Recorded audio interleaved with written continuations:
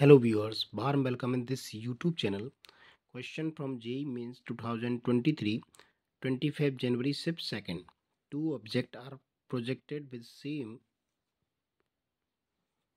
velocity u, however, at different angle alpha and beta. So student, here are two objects which are projected at angle alpha with velocity u and another object is projected at angle beta with same velocity u. Here it is given alpha plus beta is 90 degree. It means both angle are complementary to each other. So the range ratio of horizontal range of the first object to the second object.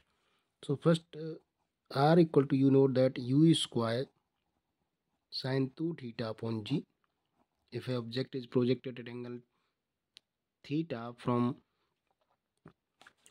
a point with velocity u then r equal to u square sine 2 theta upon g. In this is first case and this is second case.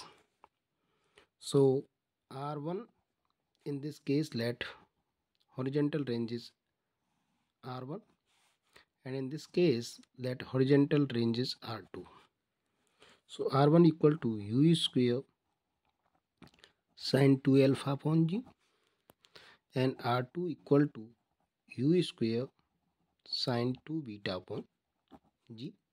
But beta equal to 90 minus alpha we put here u square sine 2 beta is 90 minus alpha upon g.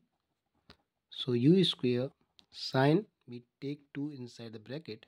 So this is 180 90 minus 2 19 to 2 this is 180 minus 2 alpha over g.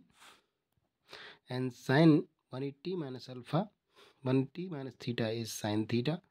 So this is u square sine 2 alpha upon g which is equal to r1 so r2 equal to r1 therefore r1 upon r2 equal to 1 or 1 ratio 1 we write it as therefore r1 r ratio r2 equal to 1 ratio 1 so this is our answer which is found in option d. Therefore option d of this question is correct. I hope you got it. Please like the video. Subscribe the channel. Thanks for watching